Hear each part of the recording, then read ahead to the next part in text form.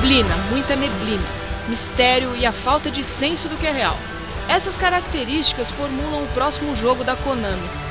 Silent Hill Downpour é o nome do novo jogo da franquia de terror psicológico que mudou o rumo dos jogos de horror.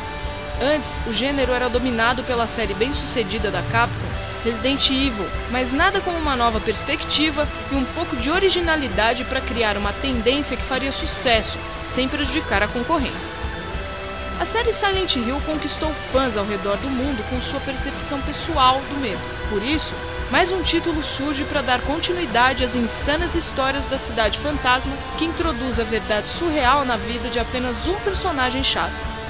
Em Downpour, acompanharemos Murphy Pendleton, um prisioneiro fugitivo que se vê perdido em Silent Hill após o carro que o transportava capotar. Daí começa a loucura. Não podemos falar muito a respeito da empatia que o protagonista ainda irá causar, mas sua vida será colocada nas mãos do jogador, assim como aconteceu com as vítimas anteriores, ou melhor, os visitantes. A jogabilidade da sequência foi alterada.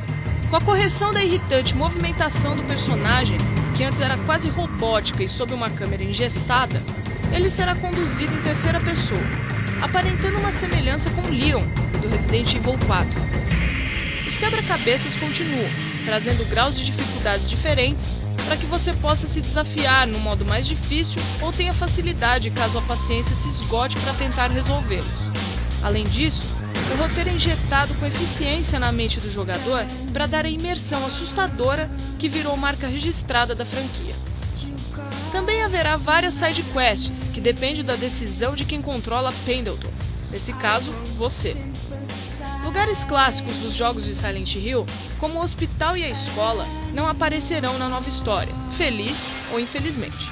A famosa iluminação, no caso cedido pelo brilho de uma lanterna e uma arma na mão, ou handgun como alguns já estão acostumados, são a base para a sobrevivência e para o desbravamento dessa nova trama que promete uma superação sobre seus antecessores. Outra coisa que marca a ambientação da produção é a trilha sonora. Porém, o japonês Akira Yamaoka não é mais o responsável pelas músicas que dão pano de fundo do suspense. Quem assina a trilha agora é Daniel Leach, o mesmo que cuida das composições da série Dexter, competência que não deixa a desejar. Silent Hill Downpour está sendo desenvolvido para Xbox 360 e PlayStation 3.